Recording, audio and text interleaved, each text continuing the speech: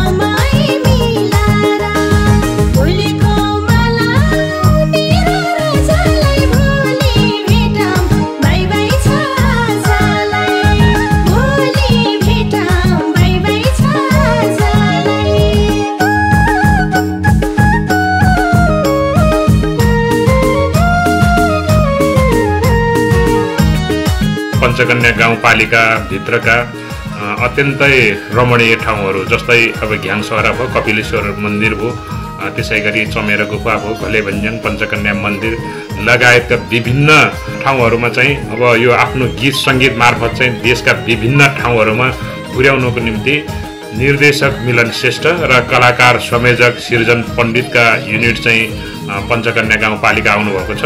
यहाँहरू सबैलाई हार्दिक स्वागत पनि गर्न चाहन्छु। आफ्नो गीत सङ्गीत मार्फत चाहिँ पञ्चकन्यालाई चिनाउनुको निम्ति यो युनिटले धेरै मिहिनेत गर्नु भएको छ। मेरो आफ्नो व्यक्तिगत तर्फबाट र सिङ्गो पञ्चकन्या गाउँपालिकाको तर्फबाट सम्पूर्ण युनिटलाई विशेष धन्यवाद र आभार व्यक्त गर्न चाहन्छु।